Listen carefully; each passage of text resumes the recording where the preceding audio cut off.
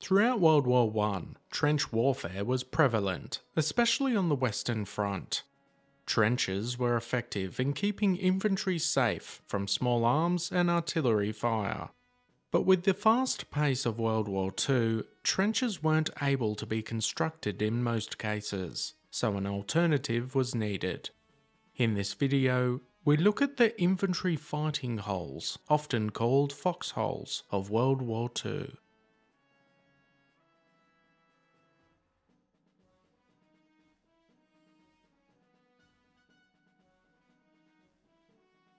There's no doubt that a trench is a relatively safe place for a soldier, but as the First World War showed, it could often become that soldier's home for months on end.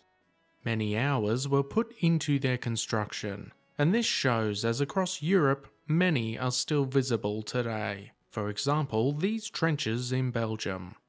But with the use of tanks and aircraft, the German army showed the Allies that this war would be different. There would be no time to construct these defences, and it wouldn't take them long to attempt to identify a solution.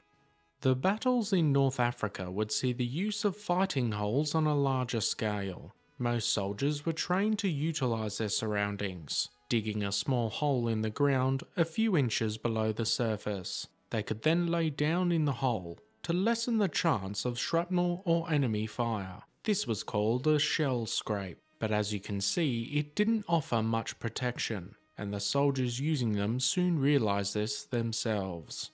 What is referred to as a foxhole was soon favoured over the shell scrape. This fighting hole offered much better protection, with the soldier using their entrenching tool to dig down into the ground, anywhere from 4 to 6 feet deep and 3 feet in width. The hole was designed for a single soldier to occupy, and could take anywhere from 30 to 60 minutes to construct. This, of course, would depend on the condition of the ground. Soldiers would also often cover the top of the foxholes with branches, leaves, and anything else which could offer concealment and protection from enemy shrapnel. These fighting positions could also be widened to allow for more than one soldier to occupy. This was especially important in forward observation posts, which allowed for several men to keep an eye on the front lines.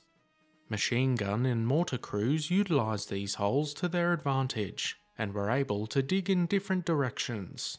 For example, some could dig in a T shape with a gun at the front, or some in a square shape with the machine gun in the middle, allowing the soldiers to move position very easily. Because these were so easy to construct, they were often only used for a day or so, before moving to another location. However, despite how basic they are, some of the holes in the more remote locations in Europe are even evident today, with these seen here near the town of Bastogne. Their use during World War II is something that has continued on, with foxholes still being utilised in modern militaries because of their effectiveness at protecting the occupants. What did you think of the fighting foxholes of World War II? Let us know your thoughts in the comment section down below. As always guys, thanks for watching. Be sure to hit that subscribe button if you want to expand your knowledge and join the growing Premier History community.